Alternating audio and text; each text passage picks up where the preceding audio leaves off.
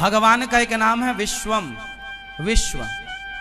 ये विश्व जो है, भगवान का ही एक नाम विश्व है। मतलब सृष्टि के कण कण में जो व्याप्त हैं, जो व्याप्त हैं उनका नाम विष्णु। जिनके नाम को लोग सुनकर आकर्षित हो जाएँ, उनका नाम है कृष्ण। जो सबके हृदय में रमण करें, उनका नाम है राम। जो क्षीर सागर पर शयन करें, उनका नाम है नारायण। जो सबके भीतर कण कण में समाये हैं, उनका नाम है विष्णु। जो विश्व व्यापक हैं, वो विष्णु। कर कर्षति कृष्ण, जो सबके मन को आकर्षित कर ले, वो कृष्ण। रमनते योगी नाम यस्य सह राम, जो योगियों के हृदय में रमण करें, वो राम। जो गाय चराएँ इंद्रियों को वश में करें वो गोपाल। जो गिरिधा गिर, जी को उठाएँ वो गिरिवरधारी। जो इंद्रियों को कंट्रोल करे और कामदेव को भी पराजित कर दें उनका नाम है अच्युत। क्या नाम है? अच्युत। क्या नाम है? बोल के बताओ। हाँ? अचपिच? क्या कह रही हो अचपिच?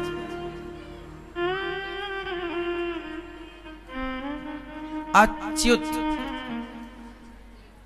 अच्युप नहीं।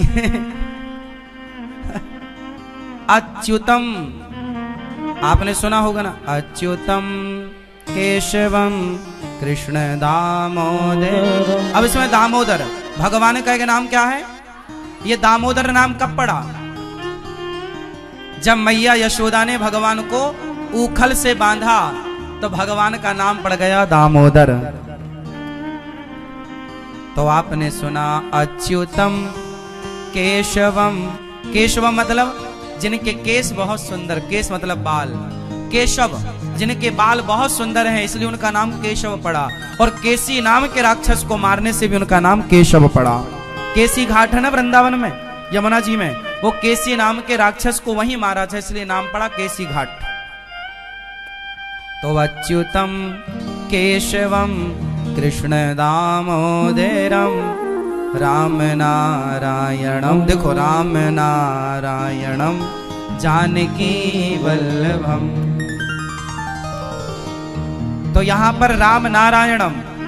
तो यहाँ पूरी लाइन में नारायण शब्द जो आया, वो दोनों के लिए आया है। कृष्ण नारायणम, राम नारायणम। समझ में आ रही है ना बात? तो आपको कोई पूछे कि भगवान के नाम बताओ, तुरंत ये वाला सुनाओ। अच्युतम केशवम, कृष्ण दामोदरम, राम नारायणम, जानकी वल्लभम। सात नाम हो गए। अब कोई और पूछे तो फिर सुनाओ। श्री कृष्ण गोविंद हरे मुरारी। हे नाथ नारायण वासुदेव। ये हो गए छह। नाच में आ गए जगन्नाथ जी, बद्रीनाथ जी, द्वारिकानाथ जी, नाथ आ गए। तो ये छह यहाँ और सात वहाँ। लो, इतने में आपको बहुत सारे नाम याद हो जाएँगे। और याद है ऑलरेडी वो आपको याद आ नहीं रहा था। पेट में था, निकल नहीं रहा था ना? अचुप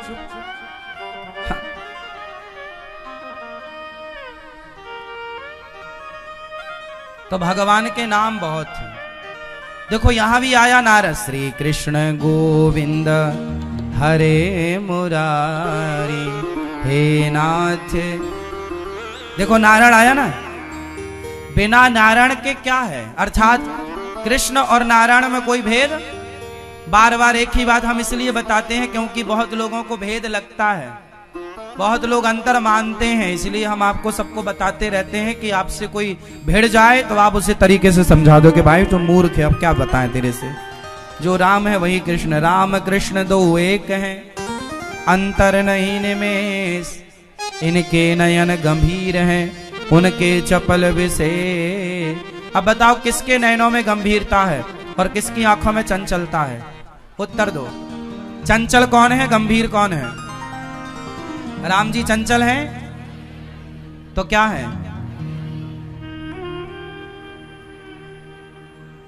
राम जी क्या है? राम बिल्कुल शांत, गंभीर और भगवान कृष्ण चंचल। आपके पति चंचल हैं कि गंभीर हैं? हाँ? हाँ? तो आपके पति यदि चंचल हैं तो उन्हें कृष्ण के रूप में देखा करो और गंभीर हैं तो राम के रूप में देखा करो। पति में भी भगवत बुद्धि रखना चाहिए। पति परमेश्वर है।